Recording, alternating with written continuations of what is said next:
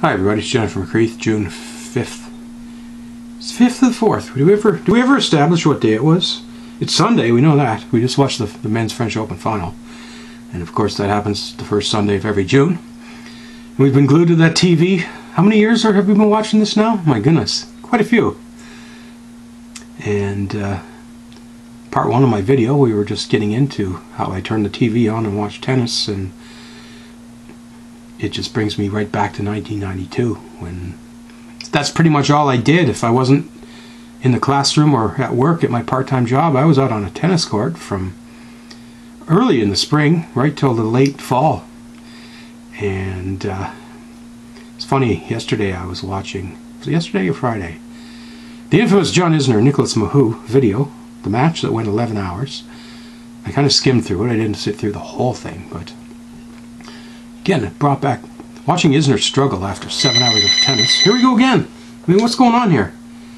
I'm just going to let that ring because uh, I don't know what happened there. But we're going to keep talking because I don't want to keep starting and stopping the video. Shut up! And that's just a landline. I'm glad I don't have a cell phone.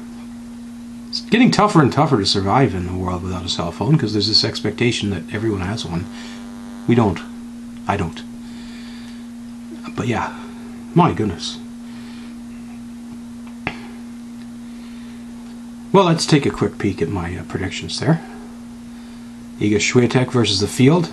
That was the big question. Pretty easy to say, okay, I'll pick Swiatek. Still, you got to go out and win seven matches. I don't care if you're the favorite. You still got to play the matches. You still got to win. You got to avoid injury. Anything can go wrong. Look at Zverev. If it wasn't for that ankle injury, Nadal might not have made the finals today. And then there's my pick. I, I went with Alcaraz. I guess he wasn't quite ready for prime time. But uh, you know what? There's a lot of competition out there. The big three. Switching to the men, of course. Nadal won today. 22 majors. 20 years ago, Pete Sampras won his 14th major. And people are like, nobody's ever going to win 14. Nadal's got 14 French Opens, not to mention multiple titles at the other majors. Then there's two other guys right behind him, Federer and Djokovic. So not only is Nadal winning 22 majors, he's doing it in an era where there's two other people winning just as many, which makes it three times as tough. Who does Sampras have to beat or, or compete against? There was always the clay court specialist back then. Okay, this is really getting out of hand. Just throw that over there because I'm just not in the mood to talk right now on the phone.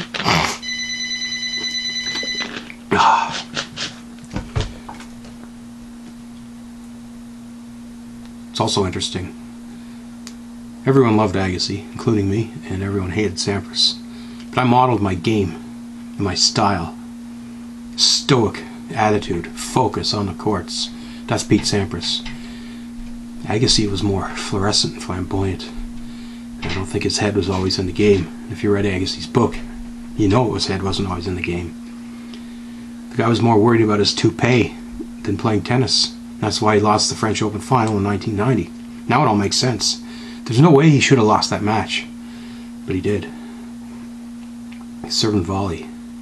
Serving volley? Anybody serving volley out there anymore? One thing COVID has hurt has been the grass court seasons.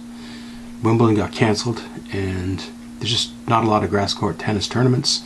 Now we've got an issue with, I guess, world political events interfering in tennis, and all because of because of a war. Certain athletes will not be allowed to play in Wimbledon. It's not really fair. I get the people feel they have to do something or make a statement, and I guess that's what Wimbledon's doing.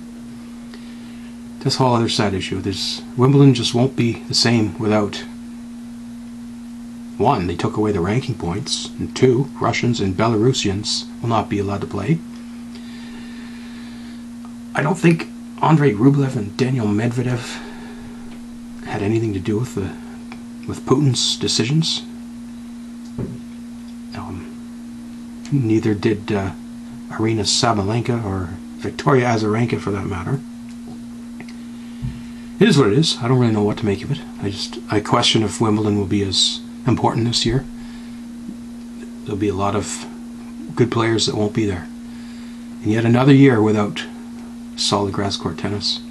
Is it crazy to think that Rafael Nadal might actually be the favorite to win Wimbledon this year? All these other players are good. They're catching up to him, but they're clay courters. Zverev, Tsitsipas, Alcaraz, Ruud. What have they ever done on grass? Nothing.